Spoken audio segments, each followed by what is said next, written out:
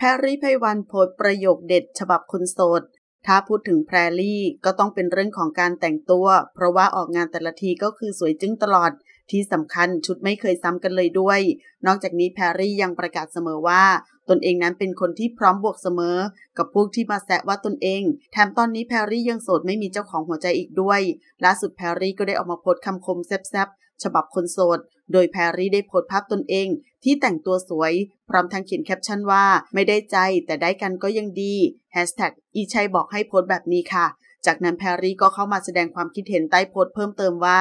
ได้กันพร้อมเสียตังก็โอเค งานนี้ทำเอาแฟนคลับที่ติดตามนั้นถูกใจแคปชั่นของแพรรี่เป็นอย่างมากเลยทีเดียวแถมหลายคนยังชมว่าแพรรี่สวยมาก ซึ่งเข้ามาคอมเมนต์กันรัวๆว่า สวยขึ้นเยอะมาก คอมเมนต์ถัดมาบอกว่า แคปชั่นชนะเลิศค่ะ คอมเมนต์ถัดมาบอกว่าแคปชั่นได้มากค่ะ คอมเมนต์ถัดมาบอกว่าหุ่นดีแล้วค่ะ สวยขึ้นมาก อยากได้สูตร ขอขอบคุณข้อมูลจากขอบข่าวขอบคุณค่ะ